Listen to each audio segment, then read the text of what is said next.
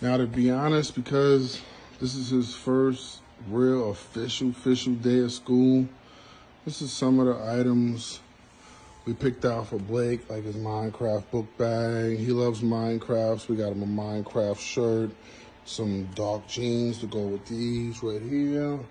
Then he has another Minecraft shirt to go with these jeans and these sneakers right here. We got him a Spider-Man shirt with some jeans right here to go with the sneakers right here.